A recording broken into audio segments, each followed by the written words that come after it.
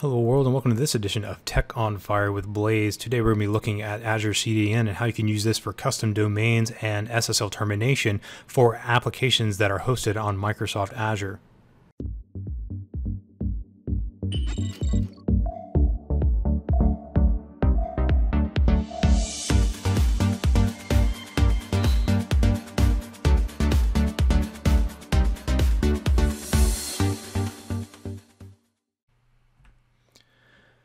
Today we're going to be looking at Azure CDN and what this can provide for me for my statically hosted websites on blob storage, but it will work for most any website that you have static content for. A CDN is a content delivery network and it's designed to make resources geographically closer to requesting clients. Let's look at an example. Suppose I had a site that was hosted in the United States and a client that was in Eastern Europe. And that client in Eastern Europe makes a request back to that server in the United States. And he then pulls that content back from that server in the United States back to his client. Now, this round trip can take, you know, maybe a second or hundreds of milliseconds because the geographic distance between the client and the server is thousands of miles. And if that HTML page has references to things like JavaScript files and CSS files and images. Each subsequent request has to make that same round trip. So this can significantly increase the load time of a page that is being requested simply because it's geographically located across thousands of miles. So to shorten that, what I could do is put a server in, uh, say, Western Europe so that that client in Eastern Europe can request resources against that server in Western Europe, and that would that would significantly cut down the amount of time. And this is exactly what a CDN network does, but it doesn't do it by publishing everything to every server in the world at once. So what it does is with each request, on the first request that's made, it will get the request from a client, say in Eastern Europe, to that server in Western Europe. If the resource doesn't exist on that server in Western Europe, it will go back to the origin and make a request against that server and then pull it back to the uh, CDN server. Say in Western Europe, it's going back to the United States. And once it's on that server in Western Europe, it can then return that uh, content back to the client in Eastern Europe and then cache that that that content on that server in Western Europe. Now, the first request is the one that has to pay the price of the long long load times for a given website or web page or resource that is being requested. But each subsequent client even if it's the original client that's going to request that resource, doesn't have to pay that price. Say you had a a client in Africa that wanted to make a request to that same website that's originally hosted in the United States, he can make a request to that same server in Western Europe and then get a response back from it with the content without having to go all the way around the world or halfway around the world to get that content. It's just simply res- uh, served up off of that server in Western Europe. Now, there are things like cache policies that determine how long a particular resource can live on that server in Western Europe.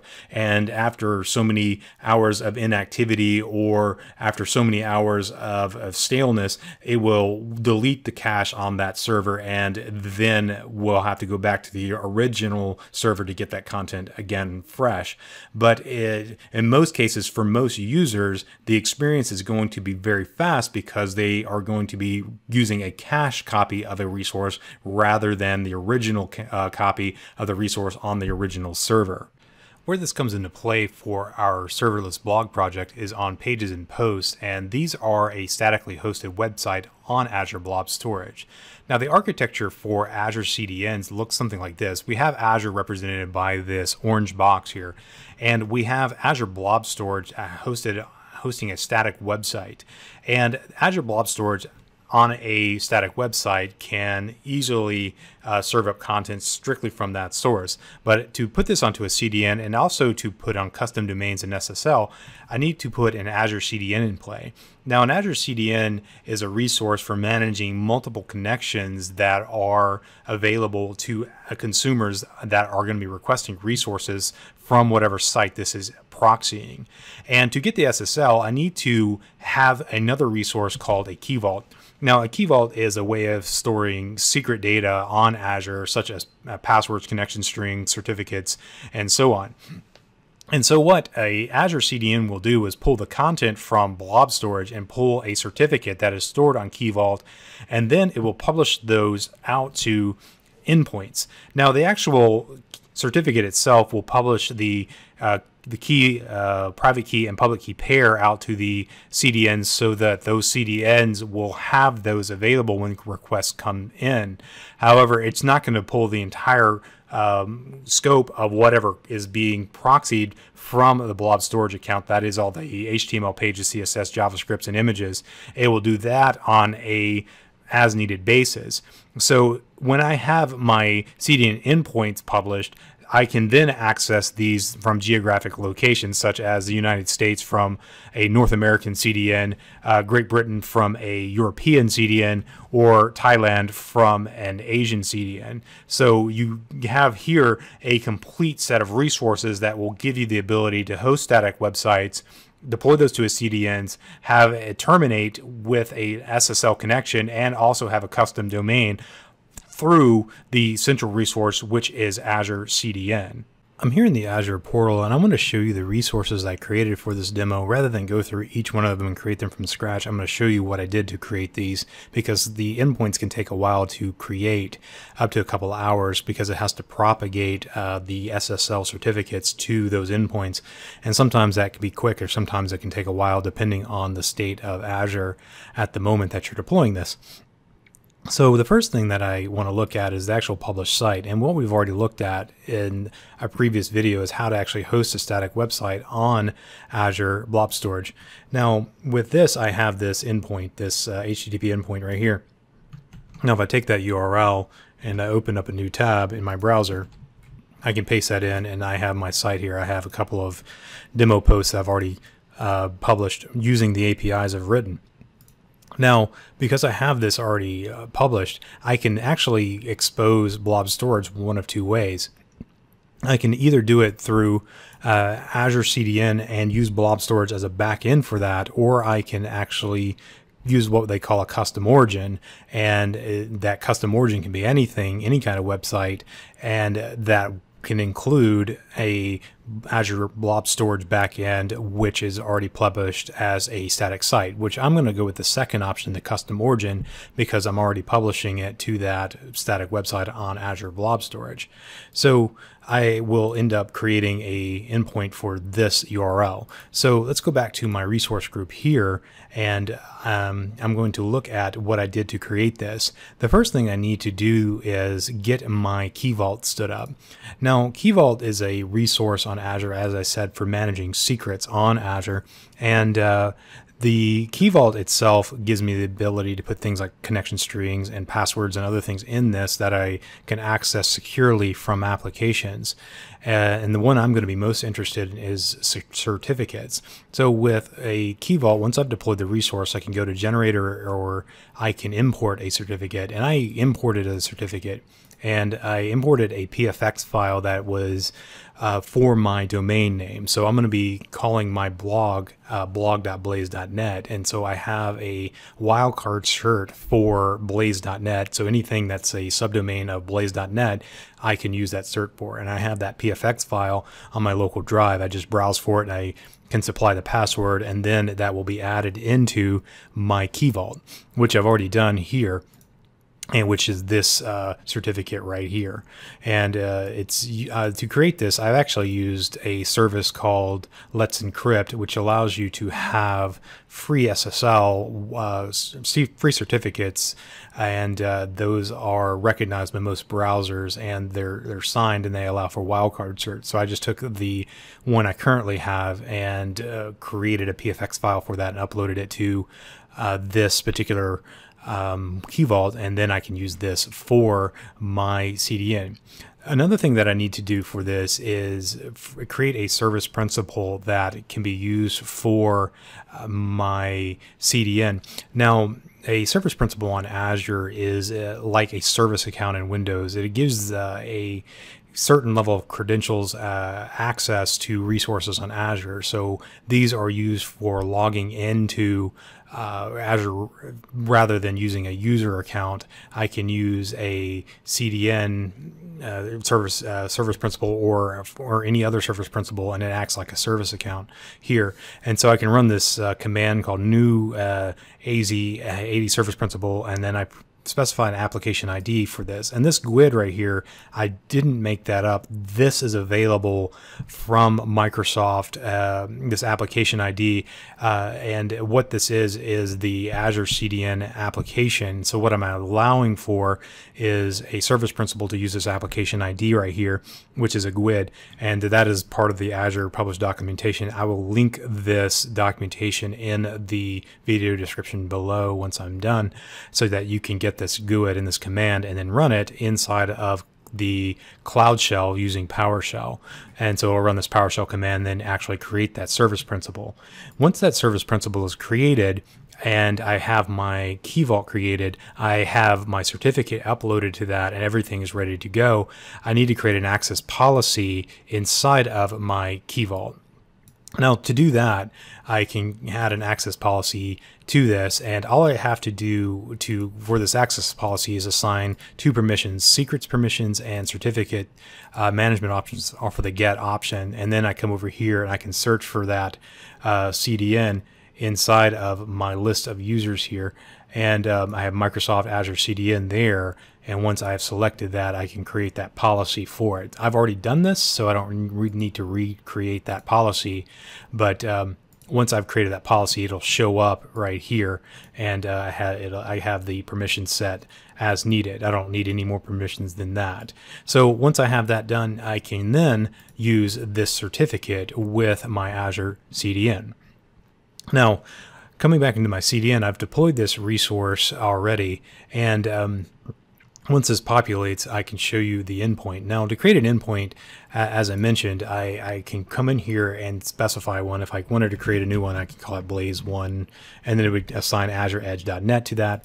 I can choose storage as a backend for it. That would be my static content that is hosted in a blob storage account, or I can use a custom origin. And my custom origin is the, the URL that I mentioned earlier. Um, I'm going to be using this host name here for this particular custom origin. Now, or I could specify the blob storage account for that backend. Um, but if I'm going to be using the existing static host that is already exposed, I want to use the custom origin for this. And I want to use, only enable HTTPS for that. And it's optimized for general web delivery. And then once I hit add, it will add that endpoint. Now, I've already added this endpoint here and it's already running. So once you have the endpoint exposed, you can come into this endpoint and configure what they call a custom domain. Now, the custom domain is where I can plug in a domain that looks like this. And I've configured this custom domain here. So to add in a custom domain, I would um, have a back backend that's one of those endpoints I created. And I would have to put in my custom domain. So if I created another one blog1.blaize.net what I would have to do is go into my um, DNS uh, settings for this is going to error out because that's not going to validate. But uh, blog1 uh, blog.blaize.net would validate, uh, although it's already being used. That's what it's going to tell me. Um, what that will do is I have to create a CNAME record in my DNS entries on whoever my DNS registry is for this particular custom host name against this backend uh, host name here. So I would be creating a CNAME for blog.blaize.net that is C uh, alias to this blaize.azureedge.net. And once that is done, it will validate this against that that registry, and then it will allow me to use it. And I've already created this, so my host name is already deployed to this guy.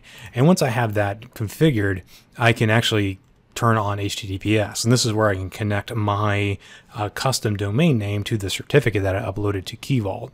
And I turn that on and then I can say use my custom, uh, my own certificate, or you can use one that it creates uh, and it'll just be billed back to you uh, using a third party um, uh, certificate authority, or you can use a Let's Encrypt certificate, which is free. And uh, you can come in here and configure this to use uh, Key Vault. You specify the secret or the certificate you want to use, and then it gives you the version and then once you click save, it then will propagate across all the uh, various endpoints on the Azure CDN. And it's this step right here that can take a while. Certificate provisioning, uh, so uh, that, and this can take a couple hours to do. That's why I'm showing you what I did here step by step rather than actually doing it because uh, once this is created, it takes you know two to three hours to propagate. Sometimes it can happen in as short as five minutes. It depends on whether or not it's new or the, how, what the state of Azure is, and among other a myriad of other variables. And once it's complete, then that means you're ready to go. So with that in mind, I can then come back over here and look at my endpoint and it's created and it's just going to take me back to where I was, uh, where I was uh, a second ago. Now that everything is ready to go, my SSL certificate has propagated to the CDN endpoints. I can hit my endpoint here. I can copy this or I could just type it in. It's fairly easy to do.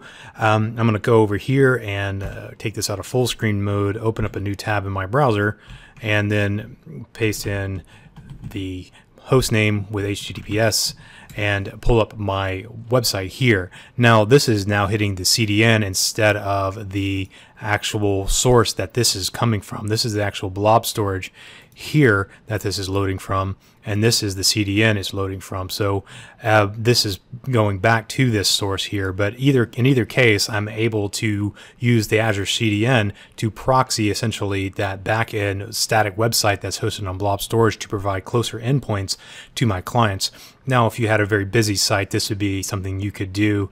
Or if you just wanted your page uh, time load times to be faster, a CDN can definitely help improve that. So next time on Tech on Fire on Blaize, we're going to look at another approach to doing this using Cloudflare and how you can use Cloudflare to proxy a backend website that is hosted on Azure Blob Storage as well. So until next time, thanks for watching this edition of Tech on Fire with Blaize. If you like this content, please consider visiting us online at www.wintellect.com, and there you can find about services that Wintellect offers, including training and consulting services. Also, please consider subscribing to this channel by clicking on the subscribe button and clicking the bell icon to get notifications when new content becomes available, and also comment down below. You can also follow me on Twitter at the One Mule, and also follow Wintellect on Twitter at Wintellect Now or at Wintellect we are constantly posting things about Azure related technologies and things related to software development. You can also reach us by email at consulting at. Until next time, thank you.